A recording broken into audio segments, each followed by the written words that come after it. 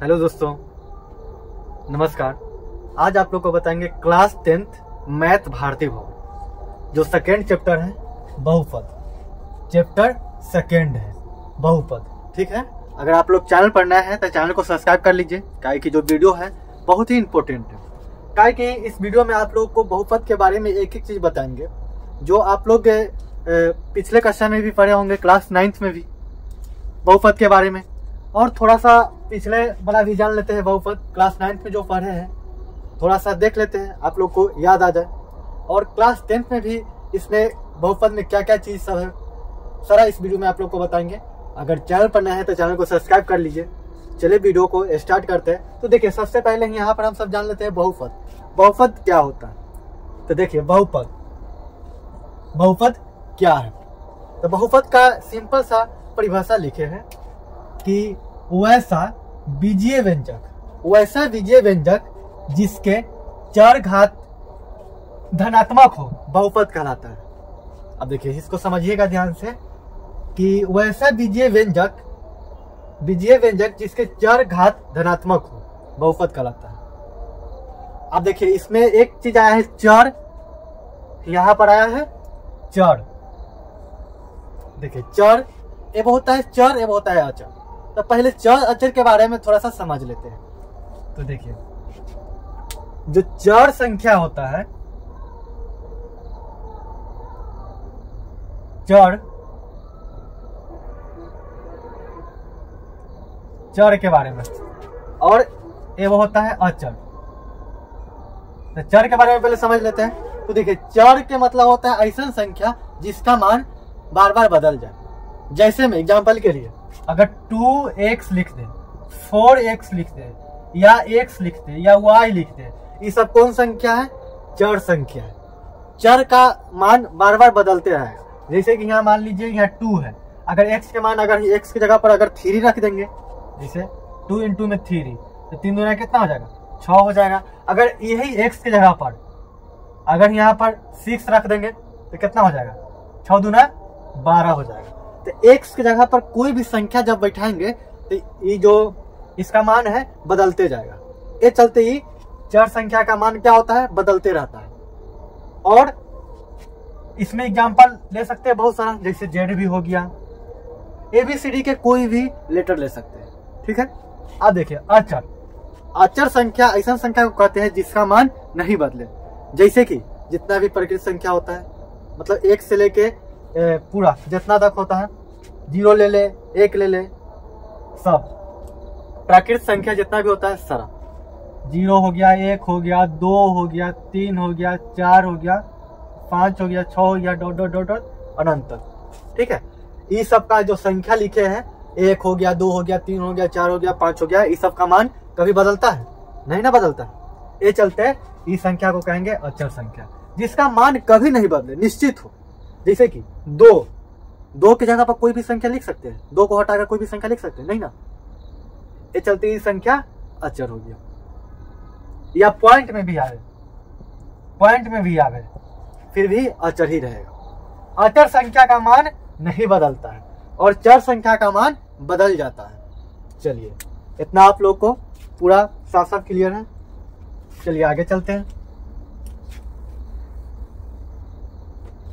अब देखिए यहाँ पर। वैसे बीजीय व्यंजक जिसका चर का घात धनात्मक हो, बहुपद कहलाता है। धनात्मक और ऋणात्मक आप लोग जानते हैं वैसा संख्या जो जिसमें प्लस वाला हो, उसको धनात्मक बोला जाता है वैसा संख्या जो इसमें माइनस लगा हो, उसको ऋणात्मक संख्या बोला जाता है। जैसे ई फोर है फाइव है सिक्स है तो ये जो संख्या दिखाई दे रहा है, ये कौन सा संख्या है? धनात्मक संख्या है। धनात्मक संख्या जैसे कि यह इसमें लेते हैं minus four minus five minus six minus seven ये वाला जो संख्या है, ये कौन संख्या है? ऋणात्मक संख्या है। ऋणात्मक संख्या। ठीक है? तो आप लोग कोई बात अच्छा से पता है कोई भी दिक्कत नहीं है इसमें। तो जो चर का घात धनात्मक हो, चर का घात धनात्मक हो। अब यहाँ पर देखिए, घात। चर का घात धनात्मक हो। जैसे कि फोर एक्स स्क्वायर लिख लिए। ई वाला जो घात दिखाई दे रहा है ये धनात्मक होना चाहिए। अगर यहाँ पर ऐसे लिख दिए, फोर एक्स माइनस में टू तो ई वाला जो है, ये बहुपद नहीं होगा। ठीक है? अगर इसे फोर, वाई के पावर माइनस थ्री, इस तरह से लिख दिए तो क्या होगा? बहुपद नहीं होगा। बहुपद होने के लिए जो घात होगा, कैसा होगा? तो धनात्मक घात होगा हमेशा। ठीक है? अब बहुपद बट्टा में नहीं होता। बट्टा में अगर लिखल है और ऋणात्मक रहे फिर भी नहीं होगा। या पाई पाई भी बहुपद नहीं होता है। तो चलिए, इससे आगे चलते हैं हम।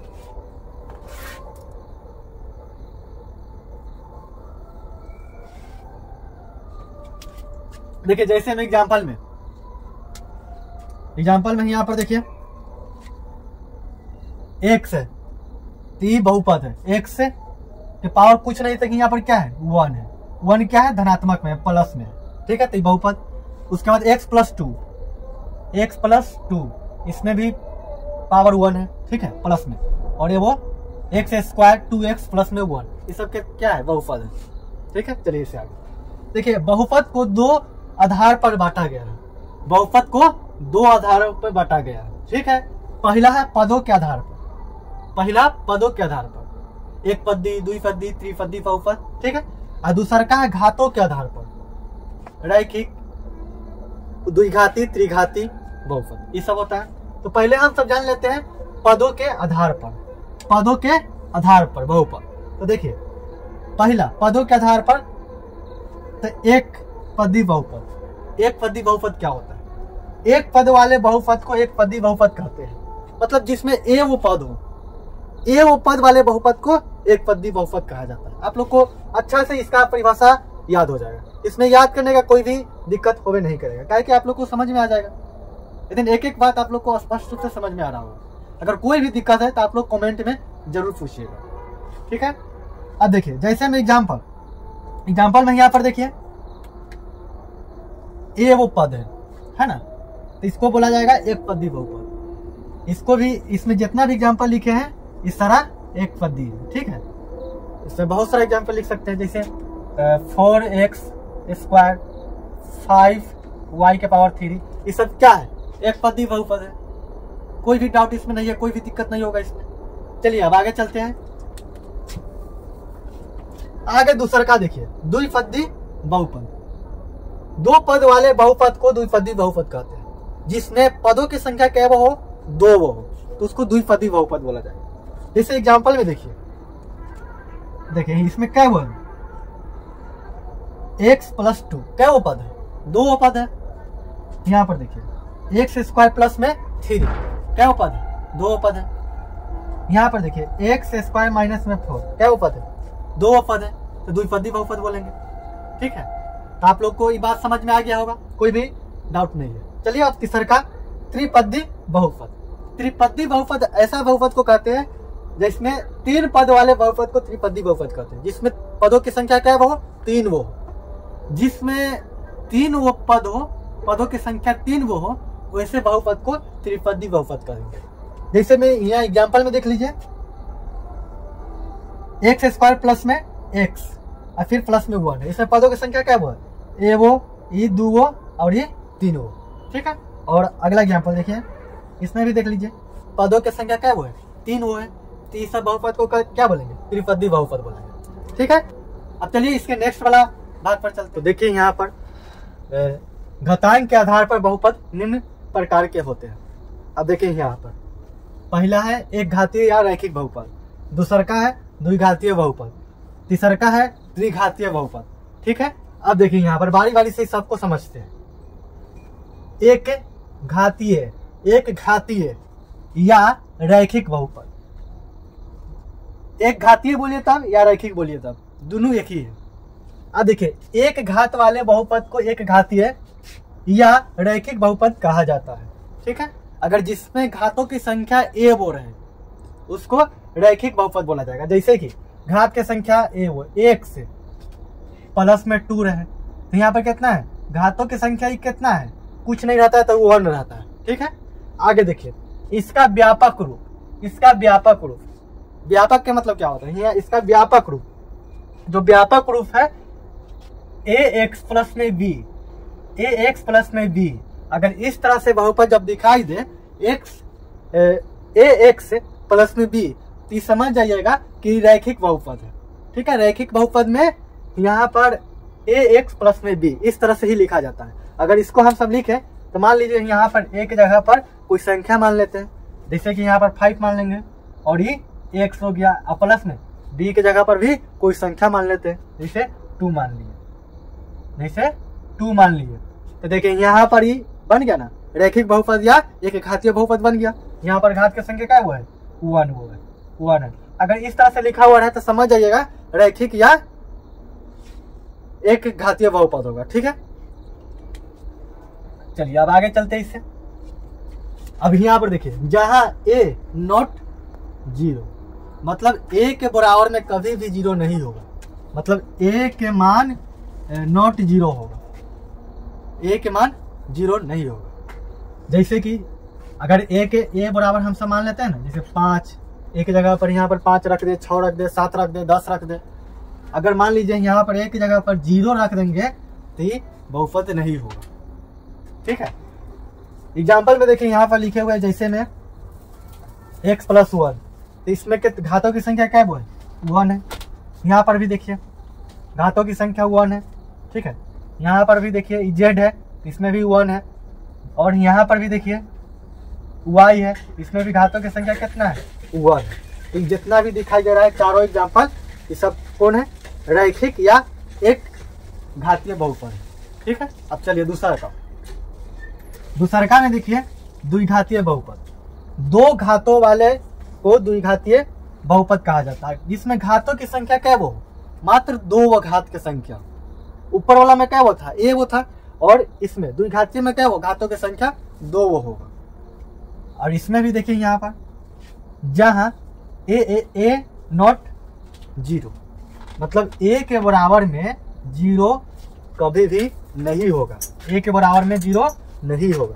एक के जगह पर कोई ना कोई मान ही होगा। एक हो, दो हो, तीन हो, चार हो, पाँच हो छ हो, कोई भी संख्या होगा ज़ीरो के छोड़ के। ठीक है? और इसका भी, इसमें भी, इस, इसमें भी, इसका भी व्यापक रूप होता है। ठीक है? तो व्यापक रूप आप लोग लिख लीजिएगा। देखिए, यहाँ पर हम लिख दे रहे हैं।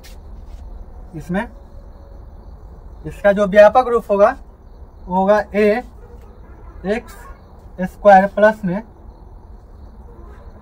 बी एक्स प्लस में सी ठीक है? व्यापक रूप ए वाला होगा। यहाँ पर इस तरह से ही होगा ठीक है?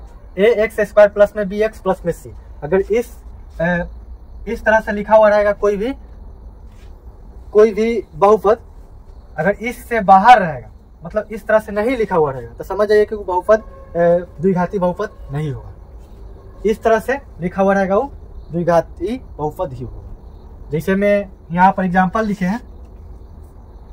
इसमें घातों की संख्या दो होगा। देखिए, यहाँ पर मेन इस पर फोकस करना है। घातों की जो संख्या है, वो दो है। तो यहाँ पर देखिए, जैसे में इसमें देखिए, घातों की संख्या कितना? दो है। इसमें भी घातों की संख्या दो है और इसमें भी घातों की संख्या दो है। ठीक है? चाहे वो एक पद्दी हो, चाहे द्विपदी हो, चाहे त्रिपदी हो मेन इसमें देखना है घातों की संख्या। तो आप लोग को ये बात स्पष्ट रूप से समझ में आ गया होगा। तो चलिए, अब आगे चलते हैं अगर कोई भी डाउट है तो आप लोग कमेंट करके ज़रूर पूछिएगा। चलिए, अब तीसरका में चलते हैं। तीसरका में देखिए। तीसरका में है त्रिघात बहुपद। यहाँ पर देखिए, तीन घात वाले बहुपद को त्रिघाती बहुपद कहा जाता है। जिसमें घातों की संख्या क्या वो? तीन वो हो। तीन वो। जिसका व्यापक रूप हो, जिसका व्यापक रूप यहाँ पर लिख दे रहे हैं ए एक्स के पावर थ्री प्लस में बी एक्स स्क्वायर फिर प्लस में बी सी एक्स फिर प्लस में डी इस तरह से रहे, इस तरह से। यहाँ पर इसमें घातों की संख्या कितना है? थ्री है। इस तरह से व्यापक रूप इस तरह से होता है, ठीक है? तो व्यापक रूप में घातों की संख्या यहाँ पर थ्री है, सबसे बड़ा। अगर इस, सबसे बड़ा अगर थ्री है तो समझ जाइएगा कि त्रिघाती बहुपद जिसमें अगर घातों की संख्या जैसे दो बड़ा हो तो द्विघाती बहुपद हो, तीन बड़ा हो तो त्रिघाती बहुपद हो। जिसमें ऊपर में ए वो था तो रैखिक या एक पति रैखिक या एक घातीय बहुपद कहलाया। अब यहाँ पर देखिए, त्रिघातीय बहुपद में घातों की संख्या कितना होना चाहिए? तीन होना चाहिए। जिसके एग्ज़ाम्पल में देखिए, यहाँ पर घात की संख्या एक्स के पावर थ्री है। जैसे एक्स के पावर थ्री लिख दिए तो ये भी कौन कहलाएगा? त्रिघातीय बहुपद ही कहलाएगा। जैसे यहाँ पर वाई के पावर थ्री लिख दिए तो ये भी कहलाएगा। अगला एग्ज़ाम्पल में यहाँ पर घात की संख्या कितना है? थ्री है। ठीक है? और इसमें भी घात की संख्या थ्री है। तो इस सारा क्या है? त्रिघातीय बहुपद है। तो चलिए इससे अब आगे चलते हैं। तो देखिए दोस्तों, यहाँ पर चौथा है। शून्य घातीय बहुपद। वो ऐसा बहुपद जिसके चर का घात शून्य हो, उसको शून्य घाती बहुपद कहा जाता है। जैसे हम एग्ज़ाम्पल देखिए यहाँ पर क्या है? टू है तो टू के कोई भी घात है, यहाँ पर घात कुछ नहीं है। जैसे कि एक्स के पावर वन होता है, ये घात है एक्स के घात वन तो यहाँ पर दो में कोई भी घात नहीं है। ठीक है? तीन में कोई भी घात नहीं है, चार में कोई भी घात नहीं है तो घातों की संख्या क्या है? तो ज़ीरो है।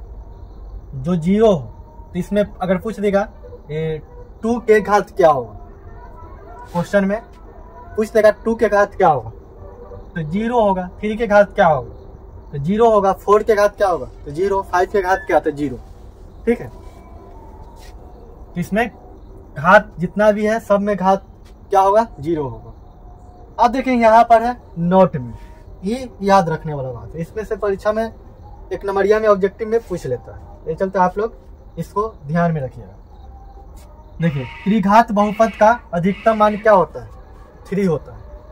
त्रिघात बहुपद के अधिकतम मान थ्री होता है। जैसे कि त्रिघातीय बहुपद हम सब लिखते हैं जैसे फोर एक्स के पावर थ्री प्लस में टू एक्स स्क्वायर प्लस में फोर, एक्स प्लस में वन। इस तरह से बहुपद दिया हो रहा है एग्ज़ाम्पल ठीक है? इसमें घात की संख्या सबसे, बड़का घात कौन है? अधिकतम सबसे ज़्यादा, अधिकतम घात कौन है? अधिकतम घात तो इसमें थ्री है, ठीक है? तो त्रिघाती बहुपद में घातों के जो अधिकतम मान होता है, वो थ्री होता है, ठीक है? चलिए द्विघाती बहुपद में अधिकतम अधिकतम मान क्या होता है? तो टू होता है। अगर इसको मिटा दिए तो क्या? द्विघातीय बहुपद बन गया। इसमें घात अधिकतम कितना है? टू है। चलिए, उसी तरह। एक घातीय या रैखिक बहुपद। ठीक है? तो यहाँ पर देखिए, इसको मिटा दिए। तो यहाँ पर घात कितना हो गया? वन हो गया। तो एक घाती या रैखिक बहुपद का अधिकतम मान क्या होगा? वन होगा। अगर देखे तो इस वीडियो में अभी इतना ही रहने देते हैं। अब नेक्स्ट वीडियो में आगे फार्मूला बता के उसके बाद सवाल बनवाएँगे आप लोगों से। अगर यह वीडियो आप लोगों को अच्छा लगा तो प्लीज़ चैनल को सब्सक्राइब कर लीजिए। और फिर मिलते हैं नेक्स्ट वीडियो में। अभी के लिए धन्यवाद।